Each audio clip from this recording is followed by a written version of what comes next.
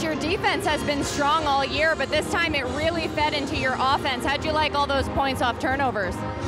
Yeah, that was a big point of emphasis, you know, for us uh, coming into this game uh, to make sure that the game was really played uh, fast and quick and up tempo. And uh, you know, we've spent like the last three or four games, it seems like in a in a slog, in a half court slog, you know, trying to you know beat the other team's half court defense, and it's just it just takes a lot out of you, you know. So we needed to get some easy buckets, and I thought the kids were. The energy level was great. The way we played was was about as well as we could, you know, we played in, a, in, a, in, a, in quite some time.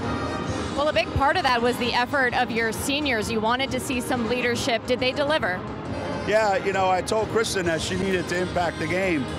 Uh, and sometimes, you know, when you say that, kids think I need to score a lot of points. And, you know, one of the things you talk about is, you know, rebounding and defense and hustle plays. And, you know, today she did all those things. And, and, and normally Christyn doesn't do those things. And when she does, you see that she's, she's a really, really, really good basketball player who, who can do more than just stand there and wait for an open three-pointer. So uh, and Liv, I think, took advantage of the of the opportunities that she gets all the time, and just didn't rush through them this time. So, I thought both of them had a great game.